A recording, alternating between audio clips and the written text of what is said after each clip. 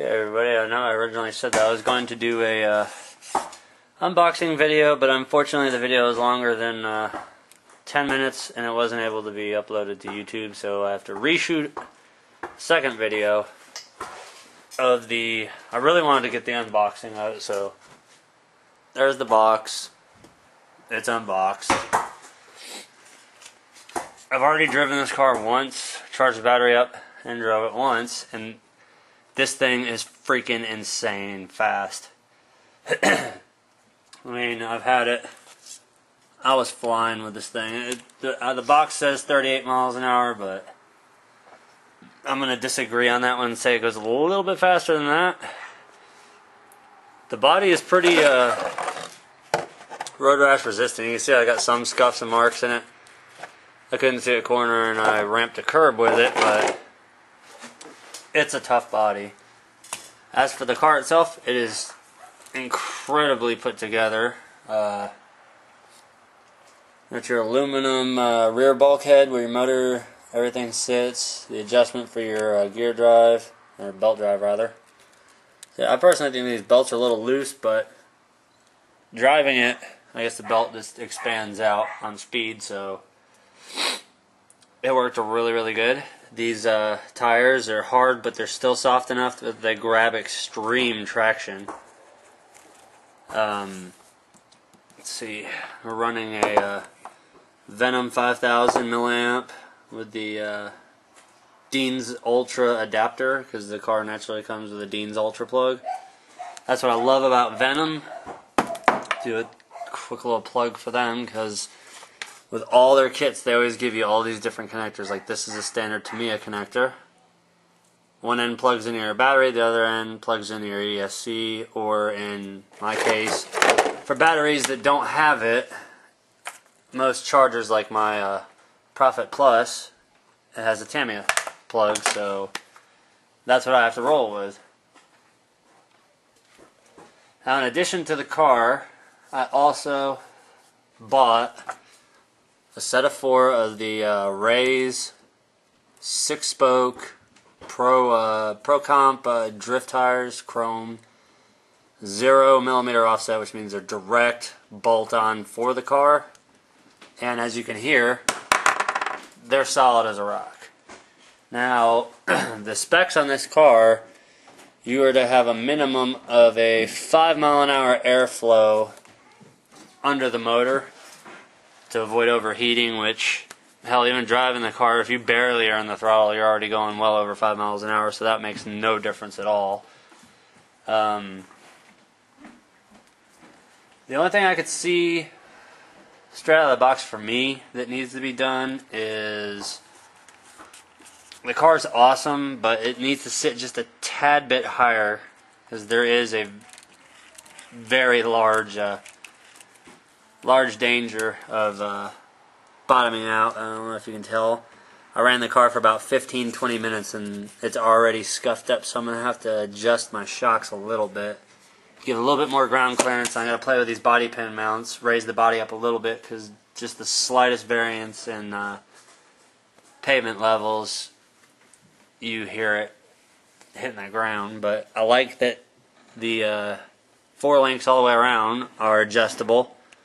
So you can adjust your uh, caster, your camber, your toe in, your toe out, camel toe, oops, whatever. Um, the belt change looks to be a little bit of a pain in the ass. Like you have to take this whole middle section apart just to change the front belt. But that's easily undone with two, four, six screws, and it's completely out. And your uh, they give you two-way tape to replace when you do the uh, you have to pull your uh, receiver off. But it does have a Castle powered uh, Motive F for flux, obviously.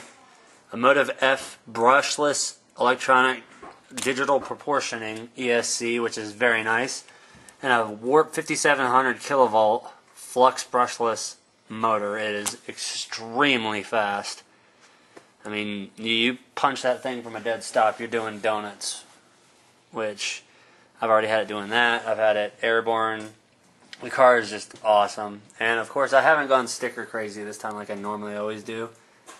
Let's put a few here and there. Did a little bit.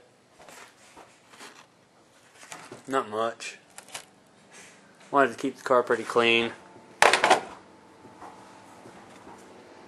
I also know that uh, you can do the, uh, forget the exact model number, but you can do a direct swap to the Tamiya Nissan R35 GTR Skyline body. It's a direct fit. Um, I like the turnbuckle on the suspension for the steering wise. The radio, the only thing, uh, the radio's got to be the biggest downfall of the entire system. They should have done something more along the lines of the top qualifier radio.